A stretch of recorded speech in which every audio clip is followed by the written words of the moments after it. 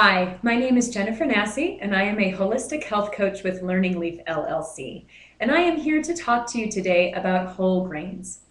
There are a lot of myths and misperceptions out there about what is a whole grain, what is not a whole grain, and how whole grains impact our bodies. It is my hope that I can clear some of those up for you today, and it is also my intention to permanently change your relationship with some of the foods that you're eating. In order to do that, I need you to be 100% present. So please put down anything else you're doing, sit back, relax, enjoy, and take from this discussion the things that you feel will be the most impactful for you going forward. Your life will turn out completely differently when you understand the food you are putting in your body and you are eating well. Whole grains is a great place to start. We will get into my journey with whole grains and healing through food a bit later. But for now, let's get started talking about what is a whole grain and what is not. I have a girlfriend who has had a lot of digestive issues lately, and we were trying to brainstorm some solutions for her recently. And I asked her what her whole grain intake was like. She surprised me by saying that she has whole grains every day. So I asked her how she's getting those in her diet. She said through her cereal. She has breakfast cereal every morning and she makes sure that they're a good source of whole grains. Well, here's where it gets a little bit confusing. For example, here we've got Cheerios, one of the most popular breakfast cereals in America. And sure enough, it says up here, whole grain guaranteed. Well, let's take a look. It starts out with whole grain oats, including the oat bran. That's a good place to start. But then it goes on from there modified cornstarch, sugar, salt, tripotassium phosphate, wheat starch, vitamin E as mixed tocopherols added to preserve freshness. Hmm, okay, well, then we've got these guys. I think we all remember these from our childhood, and guess what? It also says whole grain guaranteed. Really? Let's take a closer look. Whole grain oats, marshmallows, sugar, modified cornstarch, corn syrup, dextrose, gelatin, calcium carbonate, yellows 5 and 6, blue 1, red number 40, which I hear is delicious, by the way, artificial flavors, sugar, oat flour, corn syrup, cornstarch, salt, trisodium phosphate, color added, as if the other colors already added weren't enough, natural and artificial flavor, and then, of course, vitamin E added to preserve freshness again. Here we have good old Cocoa Puffs. And there it is, whole grain guaranteed. I bet you can see where I'm going with this one. Whole grain corn, sugar, cornmeal, corn syrup, canola and or rice bran oil, cocoa processed with alkali, color added, salt, fructose, natural and artificial flavor, trisodium phosphate, BHT added to preserve freshness. Mmm, sounds yummy. All right, well, that's fair enough. But what about Wheaties, the breakfast of champions? Surely that's got to be a good source of whole grains. And it starts out okay, whole grain wheat, but it goes downhill from there. Sugar, salt, corn syrup, trisodium phosphate, BHT. I'm sure some of these are starting to sound familiar to you. So, all right, breakfast cereals, that's a bit more processed. We can wrap our heads around that. What about other products like bread? Well, Wonder Bread came out with something called Smart Wheat Bread. That's a catchy title. And they say, and I quote, Smart Wheat is a new, soft, 100% whole wheat bread with 22 grams of whole grain, the calcium of 8 ounces of milk in two slices, and a good source of 9 vitamins and minerals. Sounds too good to be true. Unfortunately, it just might be. Let's take a look at the ingredients. Whole wheat flour, water, wheat gluten, sugar, yeast, cottonseed fiber, soy fiber, calcium carbonate, honey salt, wheat flour, vinegar, natural flavors, cellulose gum, soybean oil, sodium stearoyl lactylate, ethylox, I can't even pronounce some of these, ethoxylated mono and diglycerides, mono and diglycerides, calcium sulfate, ammonium sulfate, calcium propionate, and we're not even done yet. It keeps going. So as you can see, these aren't exactly whole grains the way nature intended us to consume them from harvest to when we actually eat them. There's a, millions and millions of dollars that go into marketing and advertising around these kinds of products and millions of people out there believing that these are whole grains when in actuality it might not be so.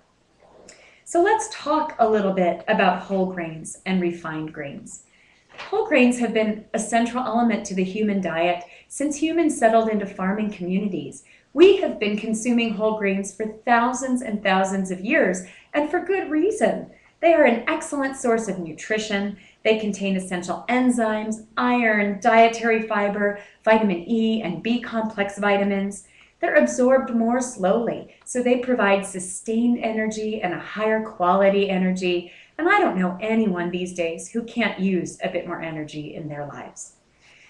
When we look at white rice versus brown rice, white rice has had the outer hull taken off where the bran, fiber, B, B vitamins, oils, where all of those are. So what you are left with is a pure carbohydrate without any of the protein or other good stuff.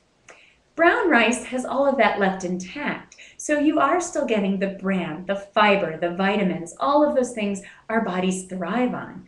The other benefit is because all of that is left intact, it takes longer for us to digest. So if you hear people talking about the glycemic index or glycemic load, all that means is that when it takes longer to digest, it takes longer to get into our bloodstream. So our blood sugars rise more slowly and we get to avoid dropping off the cliff later.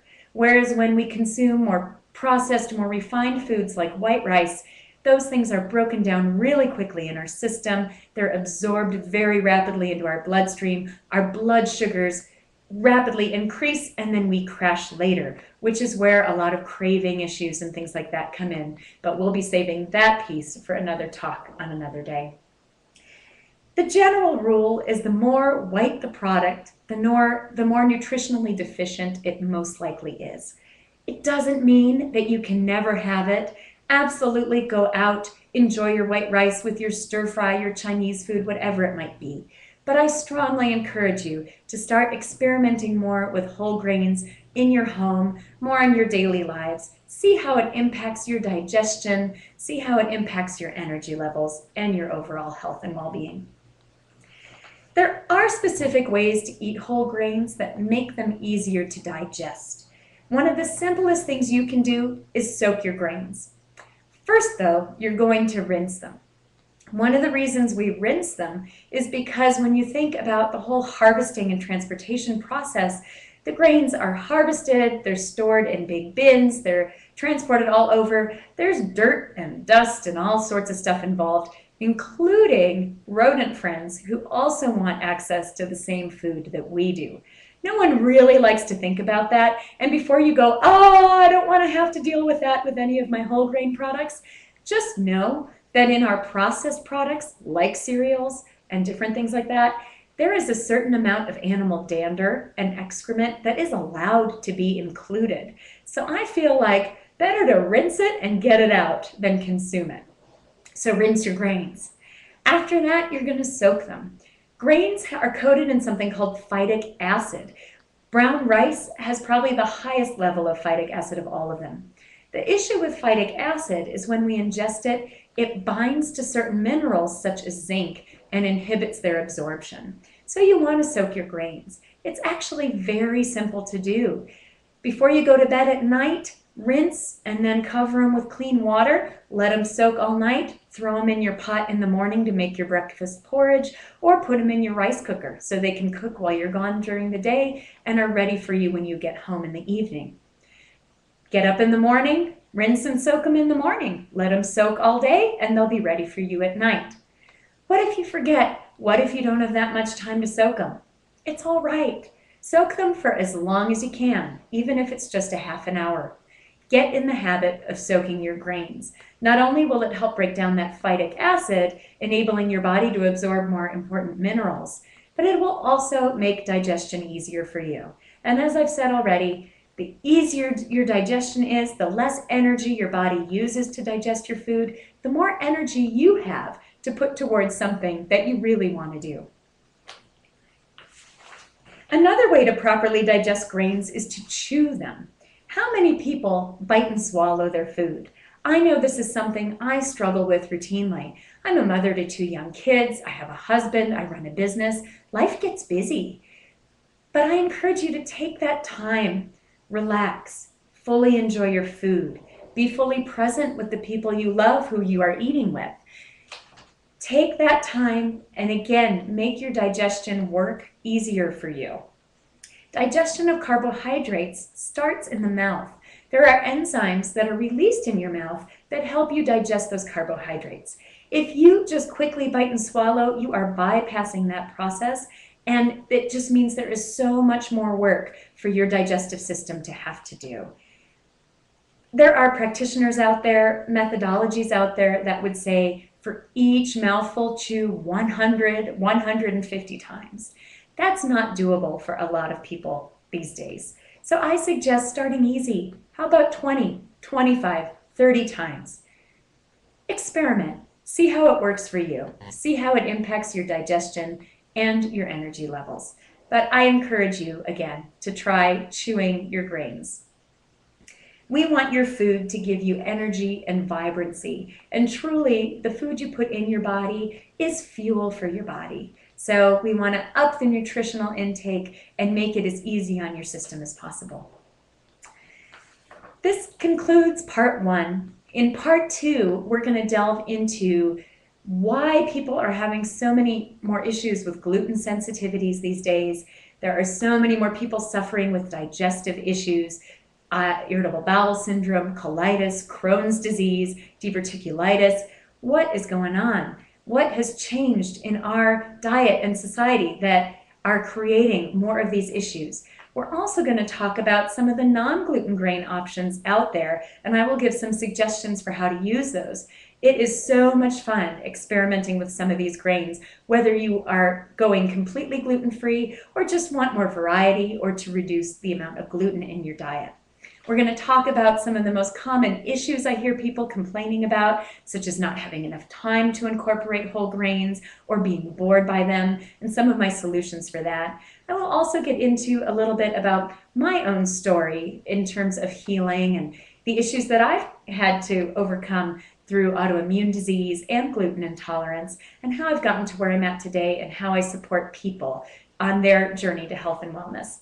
In the meantime, I welcome you to visit my website, learningleafcoaching.com. There you can sign up for my newsletter. It's free. You will get health and wellness tips as well as recipes to try. You can also look at the resources section to find recipes and, and different things there to support you. You can also check out my blog. I encourage you to take a look, find what's going to be interesting and fun and informative for you. Thank you again for joining me, and I look forward to seeing you again. Take care.